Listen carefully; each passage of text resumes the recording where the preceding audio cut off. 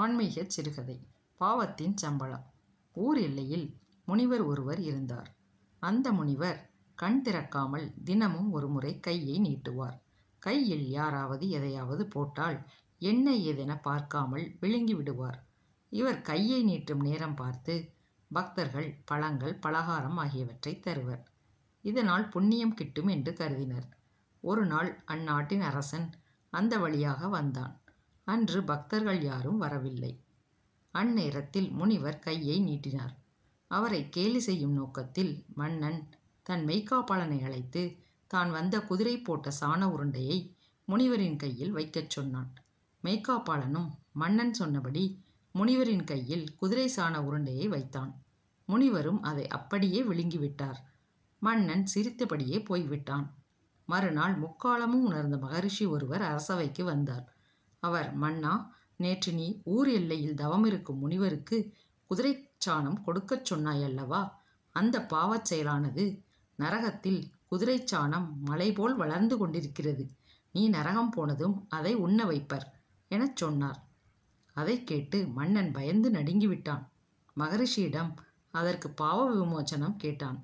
மன்னன் அதற்கு மகரிஷி திருமணமாகாத கன்னிப்பெண்களுக்கு திருமணத்திற்கு வேண்டிய நகை மற்றும் பொருட்கள் கொடுத்து திருமணம் நடத்தி வைத்தால் பாவம் குறையும் என்றார்.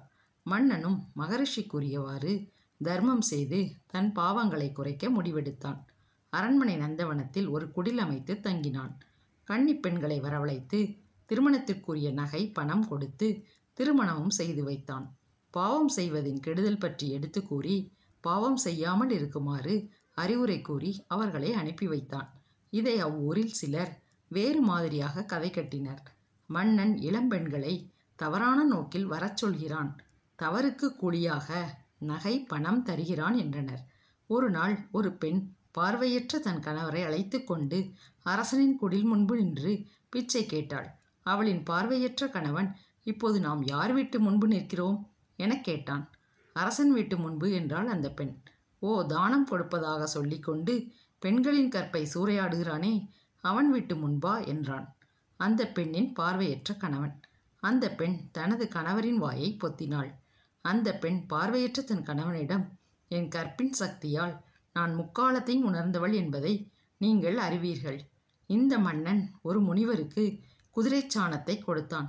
அது நரகத்தில் மலையளவாக குவிந்து மன்னன் உண்ணுவதற்காக தயாரானது.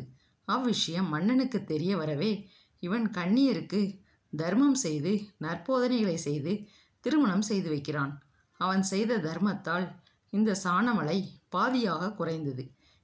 மேலும் மன்னனை பற்றி தவறாக பேசி மன்னனுக்காக குவிக்கப்பட்டிருந்த மீதி சாணமலையில் ஒவ்வொரு கவளமாக ஒவ்வொருவரும் பங்கிட்டு கொண்டனர். கடைசி கவளம் மட்டும் பாக்கியிருந்தது மன்னனை பற்றி தவறுதலாக பேசி அதை நீங்கள் எடுத்துக்கொண்டீர்கள் அடுத்த பிறவியிலும் நீங்கள் பார்வையற்றே பிறப்பீர்கள் என்றாள். நீதி உண்மை தெரியாமல் அடுத்தவர்களைப் பற்றி பழித்து பேசினால் அந்த பாவத்திற்கு சம்பளம் உண்டு. நன்றி வணக்கம்.